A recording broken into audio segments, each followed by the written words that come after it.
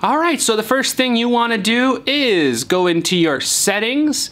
It should be on your home screen. It's an app, it's called Settings.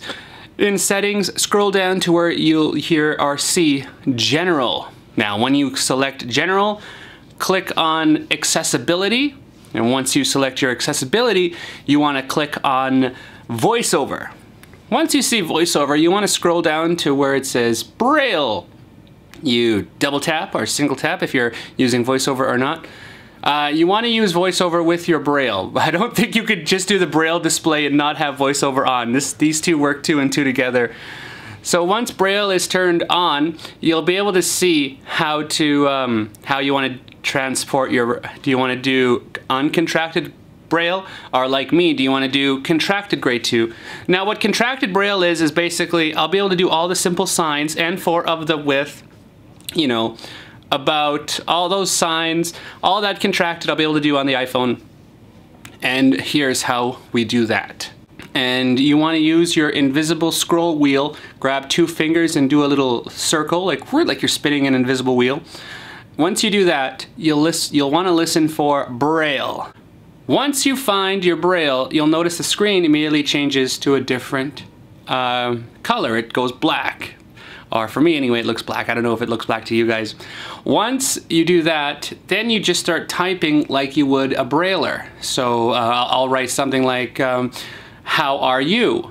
Let's see how that goes. H. O. W. Space. How? A. R. E. Space. R. X. X. Y. O U.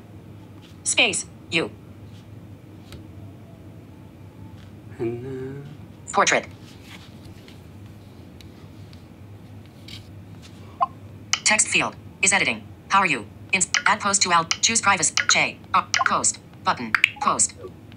Facebook. It's pretty much that easy. When you want to get out of your Braille touch mode, you just scroll the wheel again and you'll be able to go back to regular typing. For me personally, I am a fan of touch typing. I know where most of my letters are on the regular keyboard, but I don't see them. I just go by, you know, habits where I normally find them.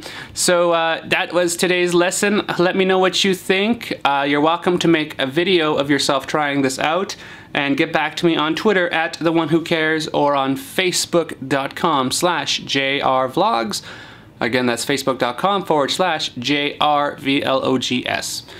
Hope you enjoyed today's video. Remember to be cool, be kind, above all be yourself. It is who we love. Until the next one, I'll see you later.